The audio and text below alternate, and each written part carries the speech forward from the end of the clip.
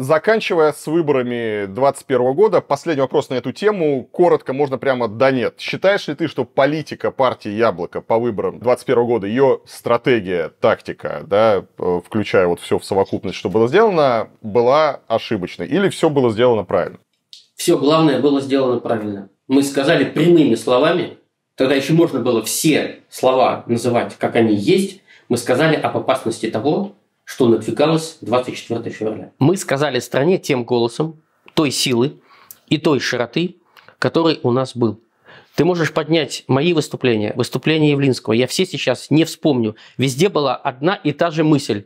Выборы сентября 2021 года – это референдум о войне и мире.